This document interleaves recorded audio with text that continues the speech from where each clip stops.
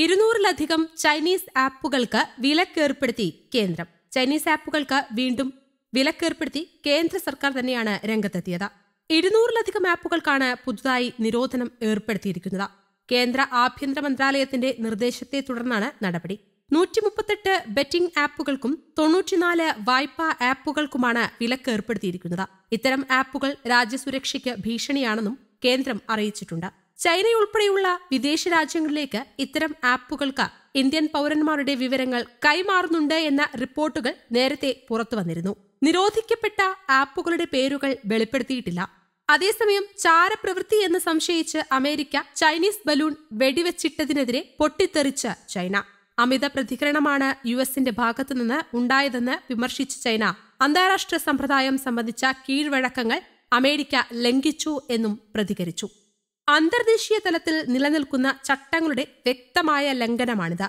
ഗുരുതര പ്രത്യാഘാതം അമേരിക്ക നേരിടേണ്ടി വരുമെന്നും ചൈനീസ് വിദേശകാര്യ മന്ത്രാലയം സൂചന നൽകിയിട്ടുണ്ട്. ആളില്ലാത്ത എയർഷിപ്പിന് നേരെയാണ് അമേരിക്ക ആക്രമണം നടത്തിയത്. ഇതിൽ ചൈനയ്ക്ക് ശക്തമായ അതൃപ്തിയും പ്രതിഷേധവുമുണ്ടെന്നും ചൈന വ്യക്തമാക്കി.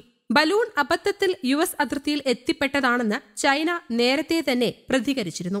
സൗത്ത് കരോലീന തീരത്ത് വെച്ചാണ് ബലൂൺ യു എസ് വെടിവെച്ചിട്ടത്. എത്രയും പെട്ടെന്ന് നടപടി വേണമെന്ന് യു എസ് പ്രസിഡന്റ് ജോ ബൈഡന്റെ നിർദ്ദേശത്തെ തുടർന്നായിരുന്നു പെന്റഗണിന്റെ നീക്കം.